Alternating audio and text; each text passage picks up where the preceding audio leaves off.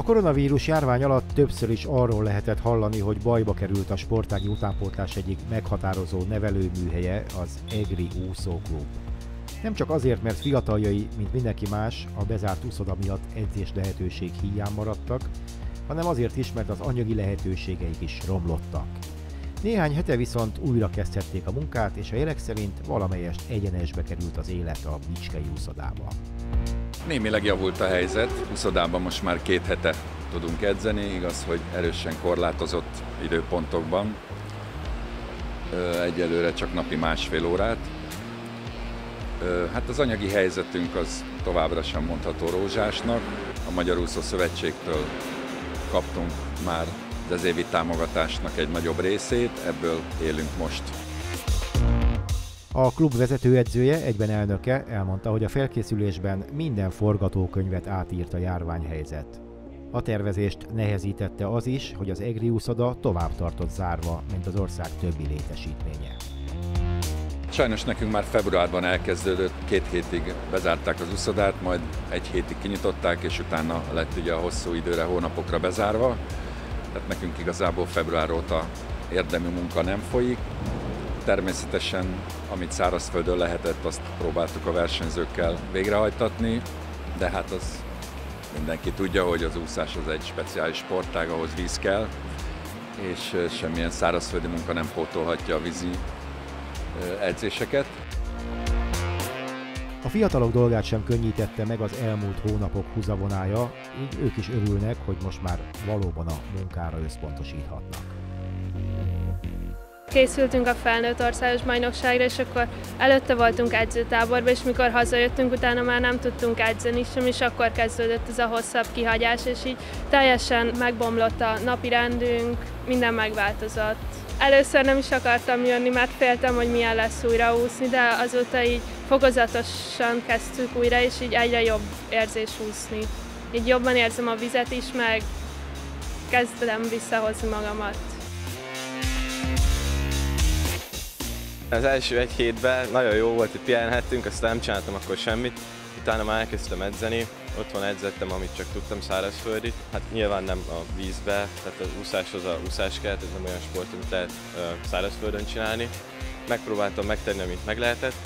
Aztán már amikor mondták, hogy ja, lesz uh, úszoda, és mégse lett, akkor kicsit elkeseredtem, de utána egy héttel rá már lett, és tudtuk nyomni az edzéseket, most is készülünk fel maximális erővel a térre. Január és február között jött egy sérülésem a hátammal, volt probléma, úgyhogy nekem ugye minden rosszban van valami jó. Nekem ez az időszak ez jót tett, mert ugye én gyógytornáztam, és így nem maradtam le a többiekkel szembe, de hiányzott az úszás, úgyhogy így örülök, hogy már vissza tudtunk jönni, csak Egerbe kifejezetten ellenünk voltak, úgyhogy később tudtuk elkezdeni, mint a többiek például Pesten, de most már teljes a felkészülés, úgyhogy innentől nincs megállás. Egerben nem csupán utánpótláskorú reménységek, hanem Békési Eszter, illetve Holló Balázs személyében olimpiára készülő versenyzők is tempóznak. A tavaly még junior világbajnokságon szereplő 18 éves felnőtt világkupa győztes mellúszónő így élte meg a leállást.